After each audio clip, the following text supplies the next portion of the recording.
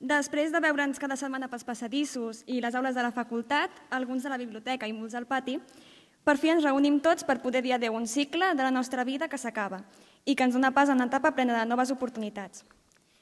Segurament aquesta serà l'última vegada que ens reunim tots. Per això volem posar paraules a tot el que ha significat aquesta experiència per tots nosaltres i donar-vos les gràcies per haver fet que aquests quatre anys, bé, aquests quatre anys de mitjana, hagin estat meravellosos. Al llarg de la carrera hem passat per molts moments, començant pel primer dia, en el que la majoria de nosaltres no coneixia ningú. Recordeu la vergonya, la curiositat per saber com seria, com funciona això de ser universitari, la incertesa de si la carrera que vam escollir era la que realment volíem. Al segon any ja estàvem impacients per arribar a tercer, per començar les pràctiques. Acabàvem de començar i ja volíem deixar enrere el primer cicle i començar a veure el final. Teníem ganes d'anar més enllà i de posar en pràctica tot allò que ja havíem après, però les pràctiques no començaven fins tercer.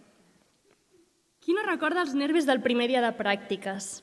El descobriment de les capacitats pròpies i els límits que encara no coneixíem.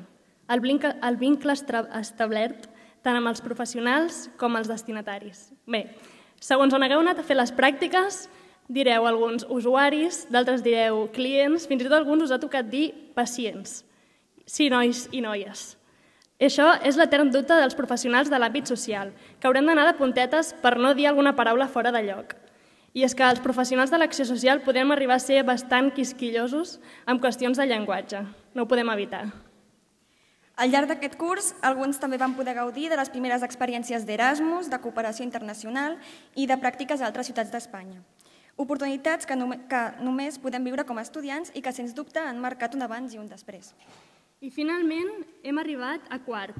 Últimes pràctiques, últims exàmens, últims treballs i per la majoria de nosaltres primer TFG. Estrès màxim, nit sense dormir, saturació de continguts, Arròs al Word que no entenem per què passa ni sempre un minut abans del tancament del POU. Gràcies, ai, ganes d'enviar-ho tot a rodar. Bé, ja ho sabeu tots. Però aquí estem, posant la nostra energia en aquest últim sprint. És el moment de prendre decisions i de decidir com continuar el nostre camí. Però també és el moment en què ens sorgeixen més dubtes. Sabrem posar en pràctica tot allò que hem après? Sabrem ser, per tant, uns bons professionals? Diuen que els moments de canvi són aquells que més dubtes ens porten, aquells en els que ens sentim més insegurs i més dubtosos. També diuen que aquesta sensació és positiva i necessària, i és que deixem de ser estudiants per ser professionals. Bé, almenys segons el títol acadèmic universitari. Evidentment ens equivocarem, cometrem errors, però la nostra professió, així com tantes altres, implica un aprenentatge constant – Mai deixarem d'aprendre de noves situacions i realitats que se'ns plantegin, com tampoc deixarem de sorprendre'ns i fascinar-nos per les persones amb les quals treballarem. Persones que en la majoria de casos ens demostraran un gran, una gran capacitat i esperit de, de superació. I molt probablement ens aportaran una forma diferent d'entendre la vida, per mil històries que coneixerem que sovint semblaran tretes d'una pel·lícula. Estarem en contacte amb persones i realitats que ens aportaran diàriament nous coneixements i que ens enriquiran al llarg de la nostra carrera professional.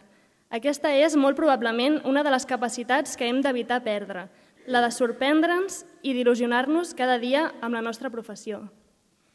En aquests anys no hem estat sols. Hem conegut gent que ens ha acompanyat des del començament de la carrera, gent que hem anat coneixent durant els cursos i que segur ens acompanyarà en la nostra carrera professional. Quan comencem a treballar i no sapiguem alguna cosa, sabrem que, tindrem, que tenim el suport dels nostres companys i companyes en el grup de WhatsApp que segur que tots tenim i dels nostres professors. Amb les persones que hem conegut al llarg de la carrera no hem compartit només aquests quatre anys, sinó que hem compartit també experiències i moments únics. I això fa que les relacions que han començat en aquesta facultat siguin molt i molt especials. Compartim vocació, professió, interessos i amistat, una bona combinació. Això no ha estat més que l'inici d'un camí que ben segur no caminarem sols.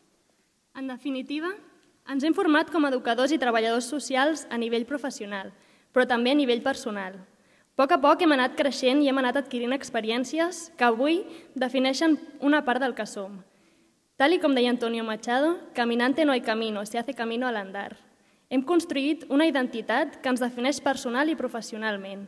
I ara ens podem tornar a fer la pregunta que ens van fer a l'inici d'aquesta carrera – Treballem com a educadors i treballadors socials o som educadors i treballadors socials? I en aquest punt ens toca preguntar-nos quines perspectives de futur tenim. Tots sabem que les coses no pinten bé, la crisi i les retallades estan en boca de tots. però també sabem que sortim amb moltes ganes i il·lusió, sortim a menjar-nos el món. A partir d'ara, tots tenim una mateixa formació, però cadascun de nosaltres dibuixarà el seu propi projecte i el seu propi recorregut professional. I us animem a, i us animem a fer-ho amb aquestes ganes i energia que se us veu a tots a la cara. I no ens podem oblidar de donar gràcies a tot el professorat que ha fet possible gran part del nostre aprenentatge i que ens ha acompanyat en diferents moments de la carrera. A tots els pares, germans i parelles que ens han aguantat en els pitjors moments i ens han animat a seguir endavant i que ara estan aquí amb nosaltres, mostrant-nos una vegada més el seu suport infinit.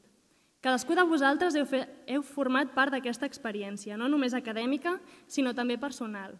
A tots, gràcies per acompanyar-nos en aquest procés.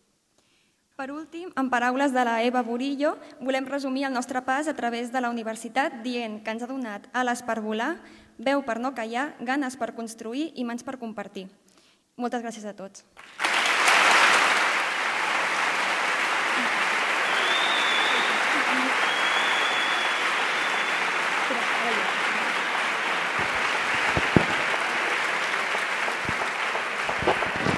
A continuació, els alumnes del laboratori escènic ens, pre ens presentaran l'obra en la que han estat treballant des de fa més d'un any, que és el, primer, és el primer pas per a una obra que ja vindrà, però de moment ja ha sigut un any de reflexions, de formació en l'art eh, comunitari, treball amb un munt d'entitats i amb els alumnes del grup de teatre com a tècnica. El que ens volen presentar no és una recepta, no són solucions, sinó que ens conviden a pensar. Amb tots vosaltres, Nàufrags 1.0.